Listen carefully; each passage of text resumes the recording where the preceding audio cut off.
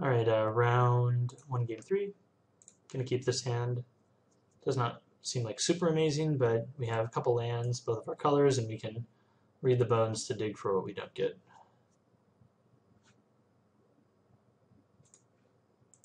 Um, and he's keeping on the play.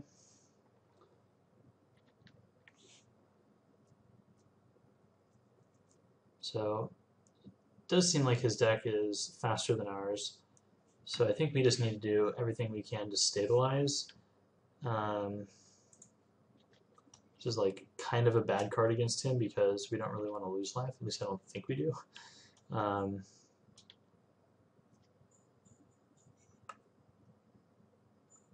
Alright, that's probably bad news.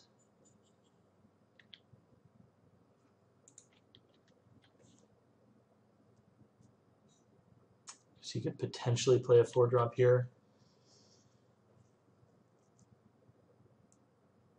If he plays that stupid 3-5, geez Louise, I will be quite behind. And then, yeah, if actually if he has a 3-5, he will have the mana to mon negative monsters very fast. Alright, or he just, you know, dumps his hand. That works too. Um, so I think we just need to play a creature and start blocking. Uh, so we can trade with his guys. Hopefully he doesn't have, you know, like an enchantment. To really put the screws on us. Um, yeah, now we're just looking at stabilizing since it does not appear that he has his big threats. He does have the enchantment. So, alright, well, he's going to let me trade here. So I will do that. Alright. Mnemonic Wall. Okay, so I think I just have to do this. Ooh, I think we might need both of these. Um, next turn we can lash that, and then play Mon Wall and get it back, or just play this guy. Alright, so I guess Yeah, I guess top top.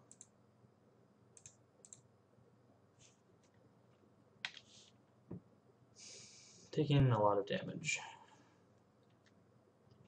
Maybe this will get us a little bit back, if we can get some more black permanents. And the reason why I think we need this is because we have Lash the Whip and Mnemonic Wall, so if, if he starts playing threats that are just like too big to answer, um, that's not one of them. Okay, that was a good draw. So, yeah, I think I just need to kill this. I'll do it on his upkeep, so he can't attack with the token.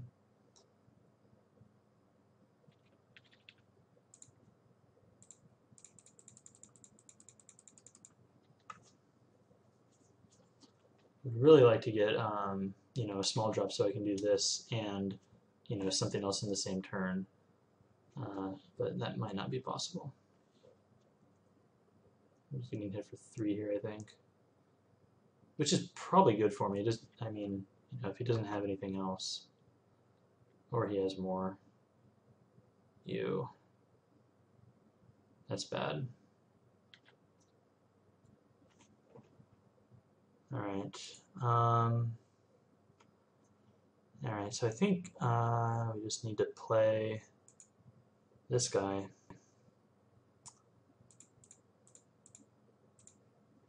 Gain some of the life back. Not much, but every little bit helps. Most importantly, this guy's a blocker. He, he can eat any of his attackers, so um, hopefully this will help get us to stabilizing. Okay, awesome. That's exactly what I wanted. Good, good, good. Alright, so now we play Mnemonic Wall, getting back, lash the whip. Yes. And uh, play our Eidolon.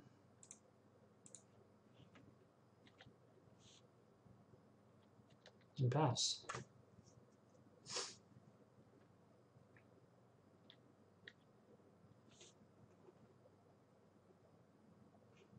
I mean, he has basically unlimited mana at this point.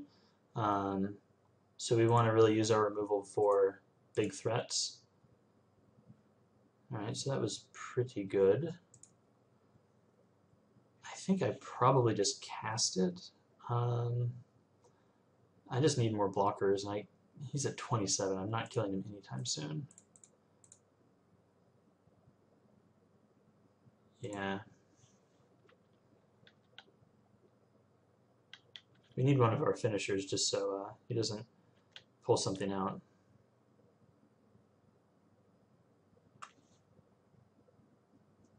Yep, that I don't care about. It's not the best. I could mnemonic wall to get read the bones, but I don't really want to lose any more life.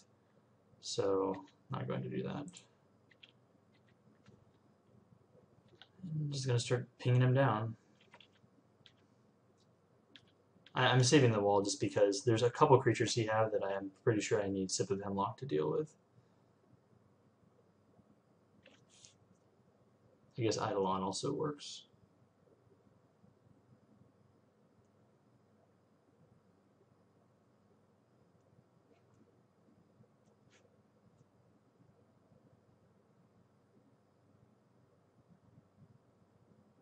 Alright, so he has that. And I assume he will make it monstrous this turn. Yep. That's fine, we're just going to sip it away. Sip, sip, sip.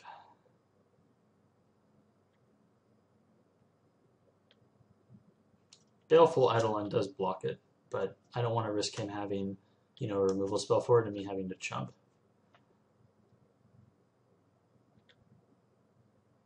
Okay, so that's a good draw. Let's get rid of it.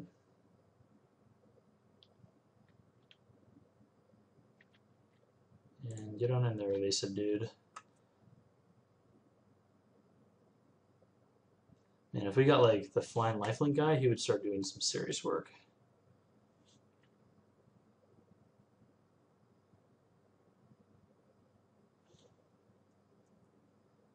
Alright, so he gets this other monstrous creature.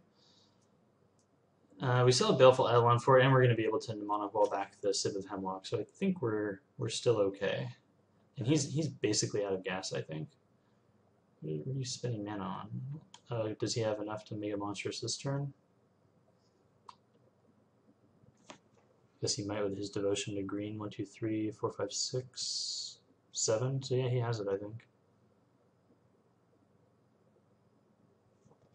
So big. Yeah, he knows that I have the uh, Lash the Whip in hand. That is okay.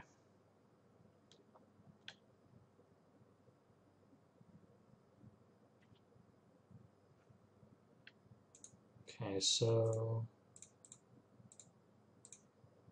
Mnemonic Wall. You're the greatest ever.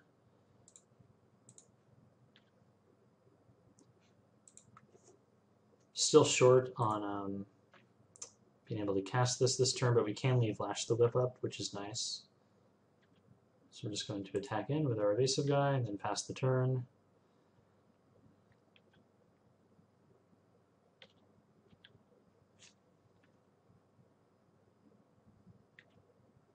If he attacks with this, I mean, I'll trade the 1-1 Death Touch for it. That's totally fine.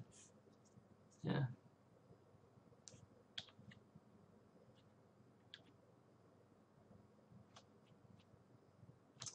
Um, so he has a card in his hand. Guess we could just uh, see what it is.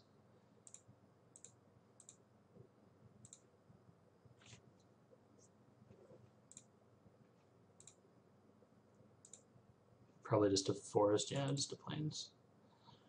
Okay, um, so we're just going to get in. So I'm trying to think like if there are any tricks or anything that gives trample. Um, it's probably worth it just to kill this.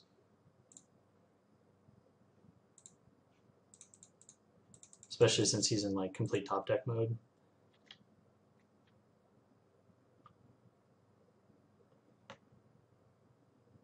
He's complaining in in chat. Don't care about your 2 2.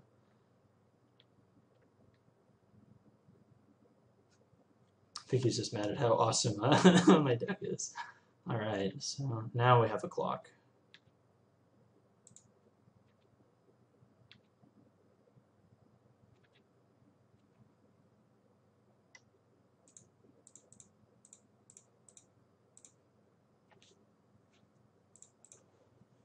Scry 2.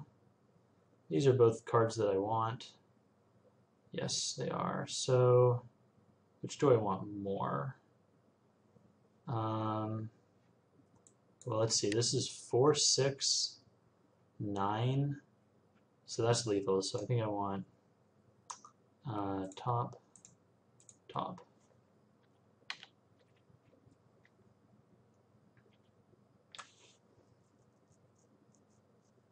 So if he plays this card and he has no cards in hand, I can just go for it and um, probably win. Yep. That is game.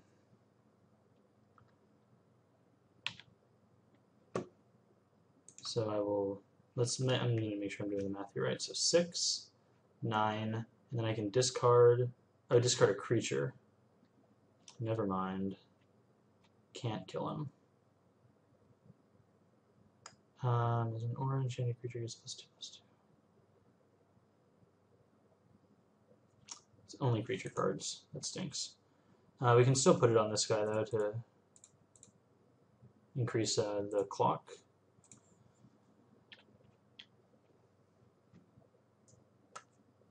Okay, well, he's skipping.